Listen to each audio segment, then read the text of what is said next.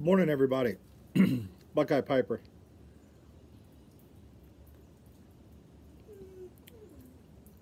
Enjoying the cool North Carolina morning on the uh, patio with my buddy Bo. Enjoying some Michigan cherry coffee. Bo's enjoying whining over there if you can hear him. 673 Savinelli Series 3 9 millimeter with Sun Bear.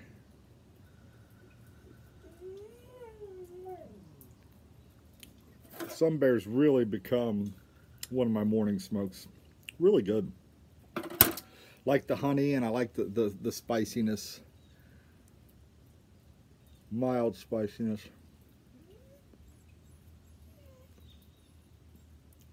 Today I thought I'd uh, go chapter two in the book that I was that I've finished reading and that some of you have talked to me about and may or may not be reading with me which is great if you are. And if not that's cool too. But it's extreme ownership. It's uh, written by Jocko Willink and Leif Babin. About the seals in Ramadi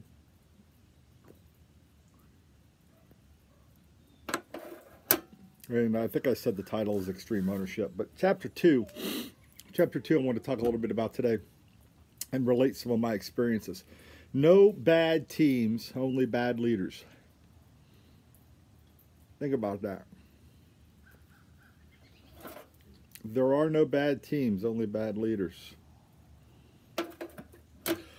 I would equate that to fruit. And if you take a piece of rotten fruit or moldy fruit and you put it in a bowl of good fruit, that one moldy piece of fruit will rot and mold the rest of the bowl. Same thing's true in leadership.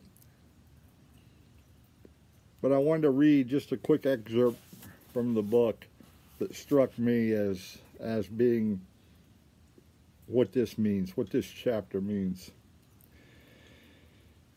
And when leaders who epitomize extreme ownership drive their teams to achieve a higher standard of performance, they must recognize when it comes to standards as a leader, it's not what you preach, it's what you tolerate.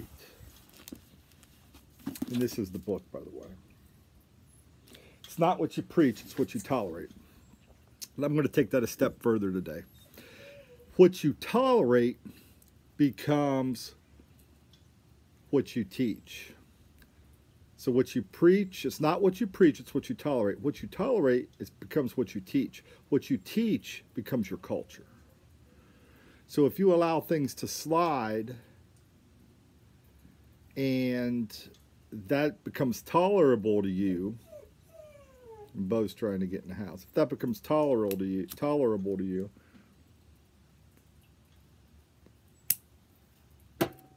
essentially you're teaching that that's okay, even though you may be preaching a different message. It's what you teach, not what you preach. What you teach becomes your standard, your reality, and your culture. So a long time ago, when I was a young, young, young leader, had the pleasure for working with for a general manager. He was fantastic. I worked for him in two buildings. Did a startup with him in one building. He's now Bo, knock it off.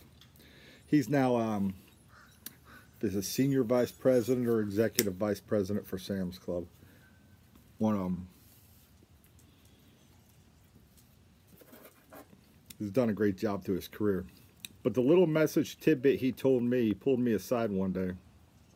And this has stuck with me for oh, 20 plus years.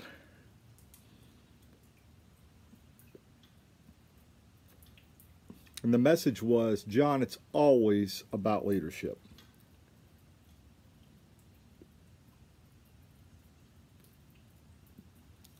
And he expanded on that. He said, I could take a good leader and put them in the worst performing team in the building, that team will turn around.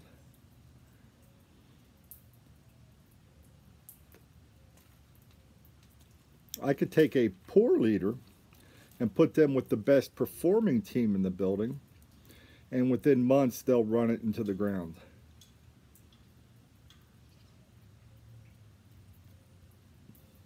Now, I've seen this over and over in my career. So, why do you tolerate that poor performing leader? At some point, you can't, you know, not to jump ahead or behind in the book, but the book really talks about five things. You explain the mission. I think I've talked about this before. Make sure the people have the training and the capacity to do the job. You remove the obstacles. You hold them accountable for the performance. And number five is if they never improve through mentoring, teaching, training, development, then you then you terminate them, fire them. And that sounds callous, but if you don't, and you keep that rotten piece of fruit in your bowl, and that sounds extreme, right? People aren't rotten pieces of fruit. I'm just using this as an analogy. You keep that rotten piece of fruit in your bowl, it's going to ruin your whole bowl of fruit. It just is. There are no questions about it. That's just how life works.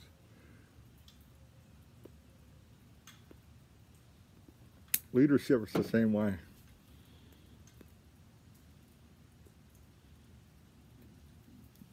There are no bad leaders, no bad teams, only bad leaders. So think about that think about that as you go through the day or as you go through the week this week or wherever life takes you, whatever position you're in. Um, again, this applies not just to business world. This applies to the home. This applies to civic organizations. It applies to anything you may be involved in.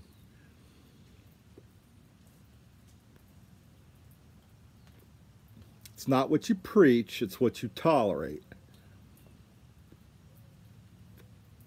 Buckeye taking that a step further, what you tolerate, you teach.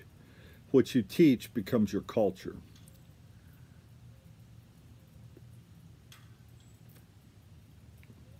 So I just wanted to share that message today. And uh, that was chapter two in the book. If you haven't picked up the book or if you're interested in leadership at all, I know some of my leadership videos get great watches and great feedback. Some, eh. So just something I enjoy doing. You know, it's just something I like. If zero people watch, I'll still do them because it helps me talk through things and helps me apply what I'm learning in my head. And if it helps anybody out there, even one person, then it's worth it, in my opinion.